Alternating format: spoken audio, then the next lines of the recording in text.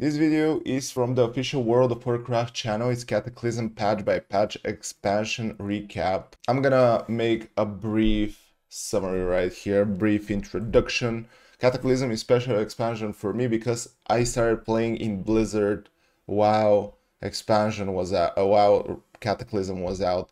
So I'm really curious where exactly I blend into Blizzard? Is it from the start of the expansion? Because I don't quite remember when it was Cataclysm released exactly. So yeah, and this video is actually narrated by someone, and uh, I'm really curious what uh, where I'm gonna land here. Let's just jump into it.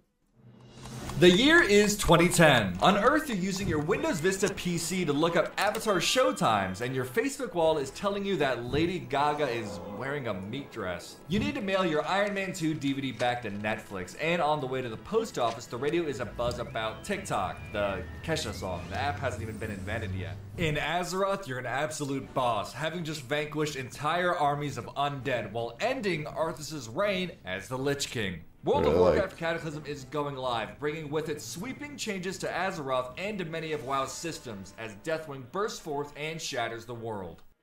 Fast forward to today, and Deathwing is returning once again in Cataclysm Classic launching May 20th. A lot has happened since 2010, so let's take a moment to revisit Cataclysm patch by patch for a refresher on the story. Dude, that was kind of depressing. Did you see that? I mean, first you're alone in the car, and after that you have kids in the car. And some of the features introduced. And take a look at the brand new changes coming in Cataclysm Classic.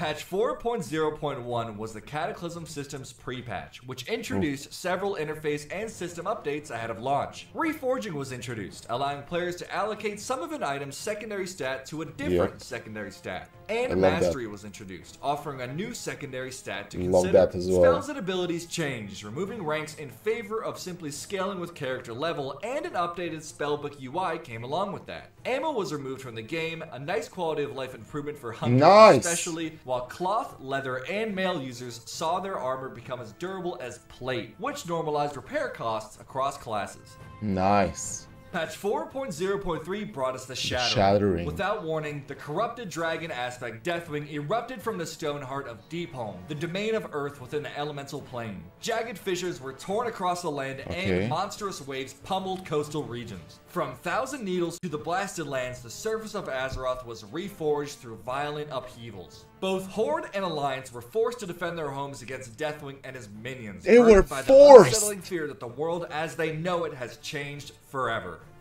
The Shattering saw the continents of Kalimdor and the Eastern Kingdoms reshaped, offering different experiences in previously existing areas and new adventures. Am I the only one? I, I love the new Orgrimmar.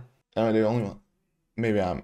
In never before seen zones. Two races were unlocked goblins for Horde and Worgen for the Alliance, and fresh race and class combinations accompanied them. Nine new dungeons were introduced. Blackrock Caverns, a network of tunnels created by Deathwing okay. in the Blackrock Mountains, where heroes face down members of the Twilight Hammer cult. The Throne of Tides, an underwater dungeon and part of the Abyssal Maw that was filled with Naga and ancients of the dungeon. old gods. The Vortex Pinnacle located I in the Elemental Plane, where armies of air elementals gathered and had to be stopped the stone core in the Temple of Earth above I love this that had dungeon. fallen to the Twilight Hammer with the Mad Priestess Azil in control. The lost city of Tol'vir in Uldum, which pit champions against the hostile Neferset, a faction of Tol'vir created by the Titans to guard their research facilities. The Halls of Origination, part of the Titan research facility of Uldum that was once used to develop new races, was left full of ancient defenses to protect from intruders. I love this as Grim well. Batol, a once great dwarven fortress that had been occupied like by the Twilight Hammer much. and the corrupted Black Dragonflight, saw champions ride atop dragons to bombard enemies before engaging them in combat on foot. The Dead Mines, once the hideout of the Defias Brotherhood's leaders like Edwin Van Cleef, became the primary Defias stronghold from which new leader Vanessa Van Cleef plotted her vengeance. Shadowfang Keep, formerly home to Archmage Arugal and his Worgen until it was liberated yes. by Horde adventurers, was occupied by Vincent Godfrey, traitor to both Gilneas and the Forsaken, and was a target of both the Alliance and the Horde. Three new raids saw champions face okay. down some of the bigger threats and allies of Deathwing. Blackwing Descent was the lair of the resurrected Nefarian, son of Deathwing, and the site of the heinous experiments he conducted in attempts to create a new breed of chromatic dragons. Bastion of Twilight was the primary fortress of the Twilight Hammer. Cho'Gall, the leader of the cult, dwelled so here. three raids well are released on mother launch. of Nefarian and Onyxia, and creator of the first Twilight Dragons, reanimated and overseeing the creation of another Twilight Clutch. Throne of Four Winds was located inside the Dude, Skywall and was Al'Akir's personal lair. With the barrier between the elements of plane and Azeroth ruptured, his invasion needed to be stopped. Patch 4.1, Rise of the Zandalari, was the Never first major that. patch of Cataclysm. The days where the Great Troll Empire stretched across ancient Kalimdor were long past. Millennia of war and eternal strife have stripped these nations of their power, lands, and glory. As Azeroth recovered from the destruction of the Cataclysm, the world's divided troll population faced a bleak Oh, actually, future. I was already These dark playing. times spurred the trolls of the Zandalar, the historically No, no. wise and scholarly wait, wait. tribe from which all trolls Wait, wait, wait. No, I was not playing. but I I now remember what happened in this patch. originated to take drastic action. They embarked on a bold crusade to save their race by uniting trolls into a single mighty empire. With the Zandalari's aid, the fallen capitals of the Gurubashi and the Amani nations, Zul'Gurub and Zul'Aman, began rebuilding, replenishing their forces for a bloody campaign to expand their territories. Yet, Vol'jin and his Darkspear trolls were not aligned with the Zandalari. They swore to stand with their Horde comrades, and even work with the Alliance should the trolls ignite a new war on Azeroth. Soon, Vol'jin was forced to act on his promise. For if the Gurubashi and Amani were left to their own devices, the world would know the legendary strength and savagery of the ancient troll empires once again. Trolls. With the Who trolls attempting trolls? to rebuild and reunite, Zul'Aman and Zul'Gurub were reimagined, becoming heroic five-player dungeons. Guilds received some attention with the introduction of guild challenges that rewarded achievements and gold for completing various content in a guild group. The Guild Love Finder to tool was also introduced, designed to help players find like-minded friends to tackle these new adventures with. And a very helpful quality of life improvement also came with this patch. The ability to resurrect allies from raid or party frames instead of having to locate a fallen companion's body in the world. Big. Patch 4.2, Rage of the Firelands, was the second major I patch think I started playing here. Across the breadth of Azeroth, the Horde and the Alliance dealt crushing blows to Deathwing's elemental minions and fanatic Twilight's Hammer cultists. Through it all, the Earthen Ring had never wavered from its tireless charge, holding Azeroth itself together amid the tidal fury of errant magical energies that churned at the Maelstrom.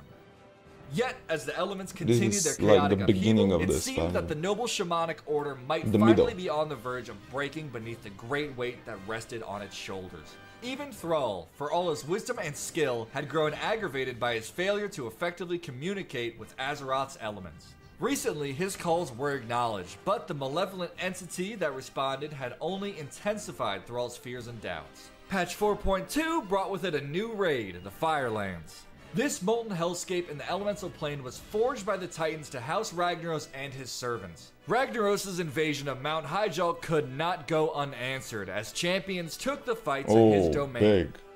A new legendary item, Dragon Wrath Tarecgosa's Rest, could be obtained after completing a considerable quest line. This two-handed staff was incredibly powerful, and wielding it was a true testament to dedication.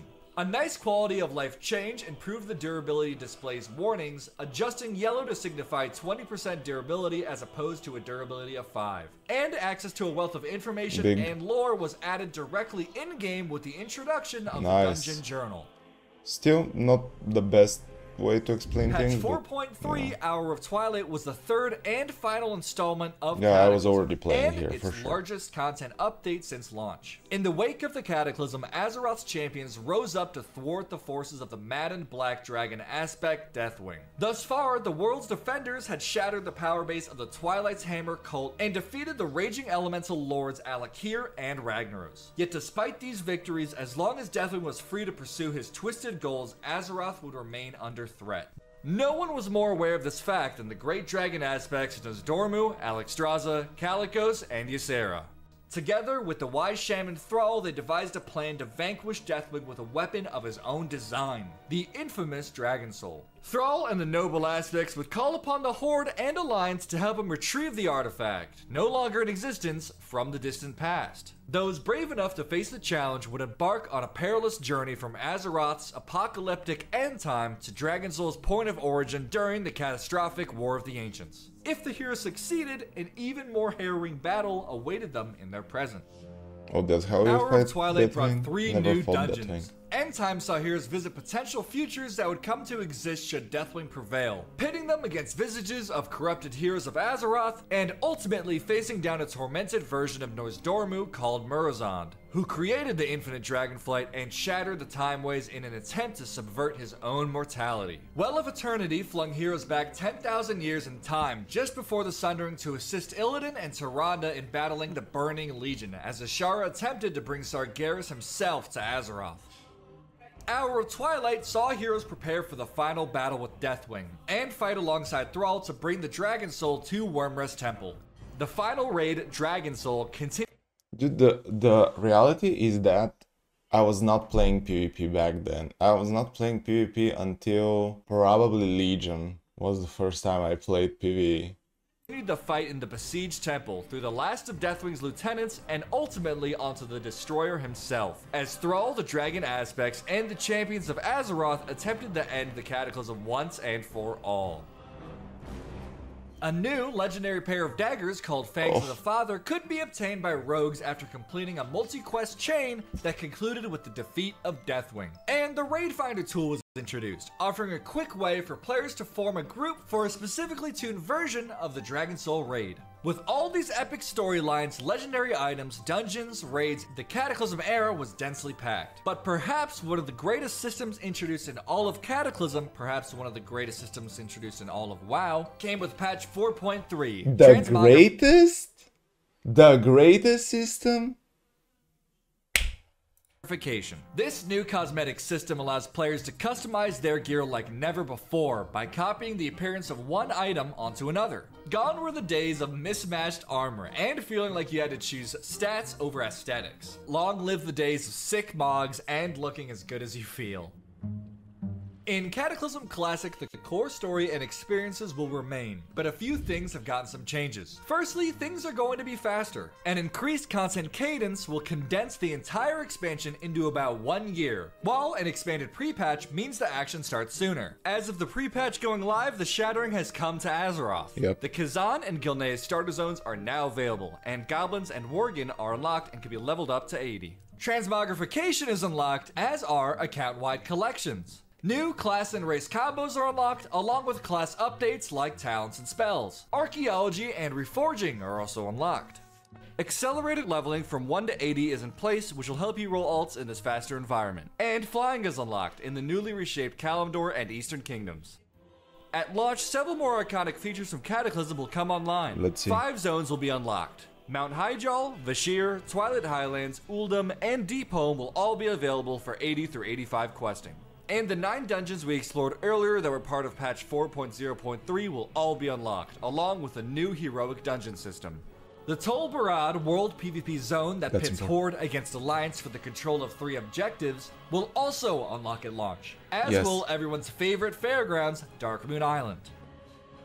After launch, Throne of the Four Winds, Blackwing Descent, and Bastion of Twilight will make their appearance and a new flexible raid lock system which allows players to do both the 10 and 25 player versions of raids in the same week. Plus, additional content updates will continue to roll out as the expansion unfolds. Thanks for joining us in this walk down memory lane. Since no it's 2024, man. feel free to enjoy streaming your movies, scrolling seven different social accounts, and not mailing any DVDs.